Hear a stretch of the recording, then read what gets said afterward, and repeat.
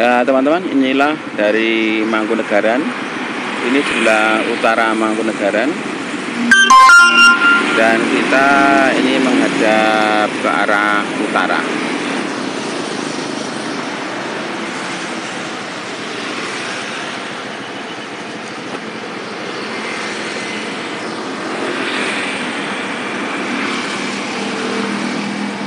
Kita akan jalan ke utara pelan-pelan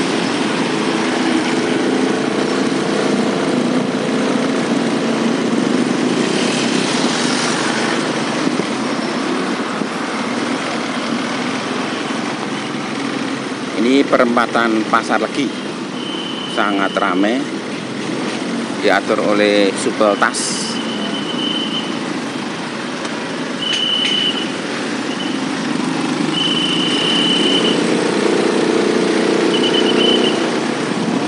Dan bagaimana kelihatan dengan pasar lagi setelah adanya pasar lagi yang terbakar, kita sudah bisa mulai lihat dari arah sebelah sini.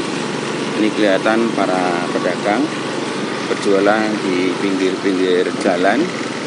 Mereka menjajakan saja apa dagangannya dengan tenda biru yang dibuat untuk darurat.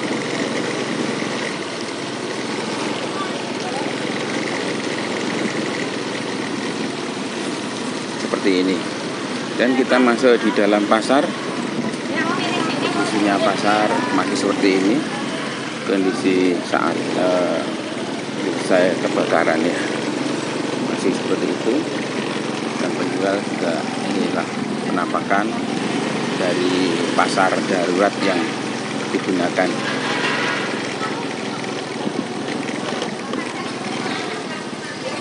Ini adalah area parkir di dalam pasar.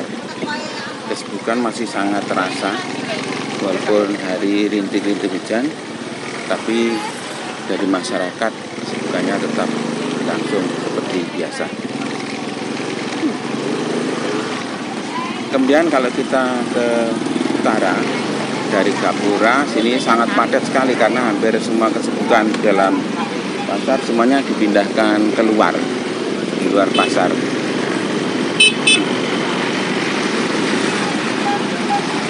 inilah pedagang-pedagang itu. Di kiri kanan kita lihat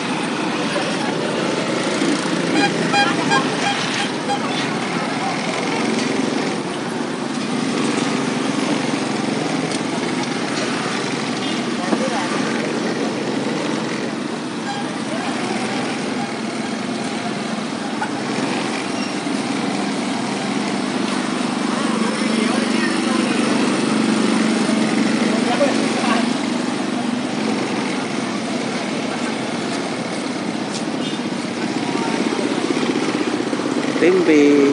Tempenya panjang-panjang. Telur asin nah, kelapa. Menyenangkan ya.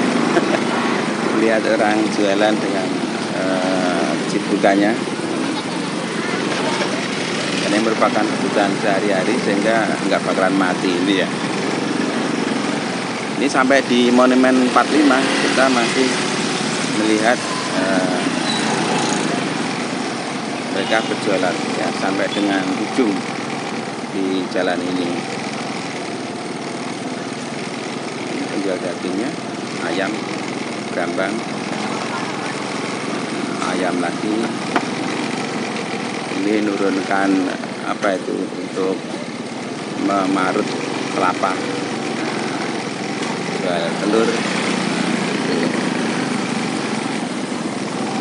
sampai berakhir di seputar ini. Ini sudah habis untuk e, mereka ber, menjajakan di sekitar